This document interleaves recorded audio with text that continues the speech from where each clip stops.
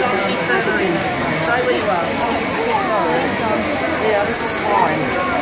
You get further and further, you get more squash and